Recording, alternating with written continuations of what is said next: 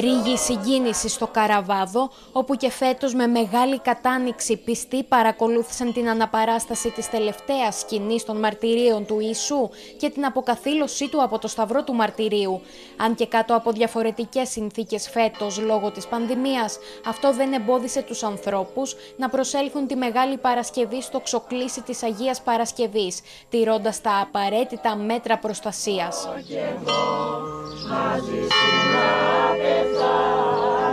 Είναι πάρα πολύ σημαντικό τα παιδιά μας, η επόμενη γενιά, να κρατάει άσβεστη και να μεταλαμπαδεύει αυτή τη μνήμη.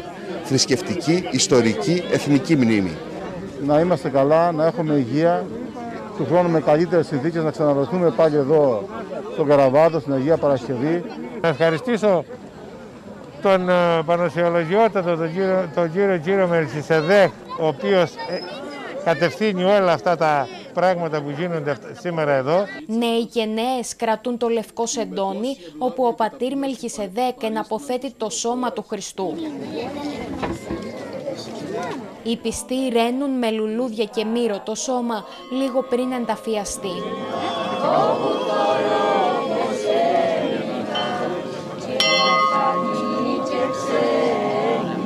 Σε αυτό το ιστορικό τελετουργικό ήρθε να προσθεθεί φέτος το γεγονός ότι κατά τη διάρκεια της αποκαθήλωσης έβρεξε, κάτι που πλημμύρισε με ακόμα μεγαλύτερη συγκίνηση τους πιστούς. Την ώρα που ο πατέρας Μελχίσεδέκ έλεγε το έρανον τον τάφο και ο Θεός έβρεχε. Την ώρα που ο πατέρ έλεγε το, την αποκαθήλωση, έβρεξε. Που γίνεται πρώτη φορά στα χρονικά αυτό το πράγμα. Το που έγινε σήμερα πρόκειται για ένα θαυμαστό θαύμα.